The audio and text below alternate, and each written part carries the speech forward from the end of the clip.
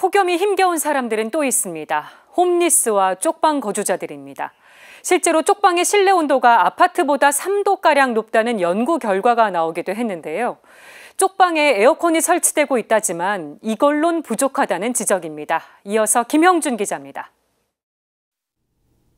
찜통 더위가 계속되고 있는 올 여름.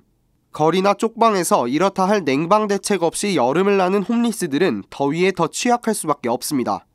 이러한 상황의 쪽방촌 거주자는 서울 시내에만 2,400명이 넘습니다.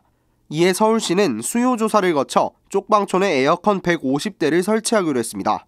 요금 부담을 덜기 위해 가구당 5만원 한도의 추가 전기요금도 지원하기로 했습니다.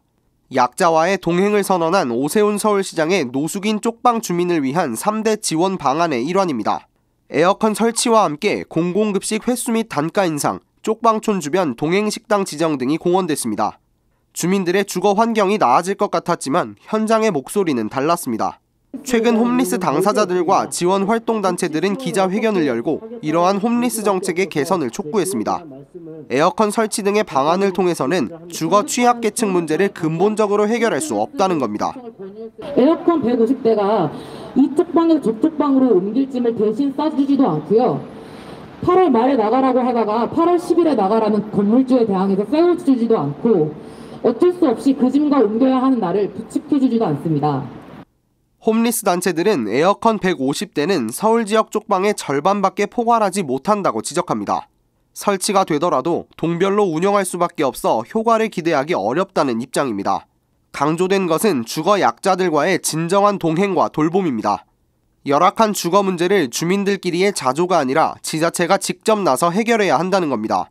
주민들은 진정한 동행의 발걸음은 적정 주거 환경을 위한 공공 개발로부터 시작돼야 한다고 목소리를 높였습니다. 도시 정비할 재개발 사업으로 지금 지정된 lok방 주민의 사전 폐거 방치와 적정 면적의 임대 주택에 건립될 수 있도록 세부 계획을 수립해야 한다. 그것이 약자의 곁에 서는 일이다.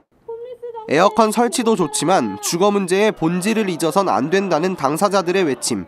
진정으로 사회적 약자들과 함께하기 위해 보다 실효성 있는 대책이 뒷받침돼야 할 때입니다. CPBC 김형준입니다.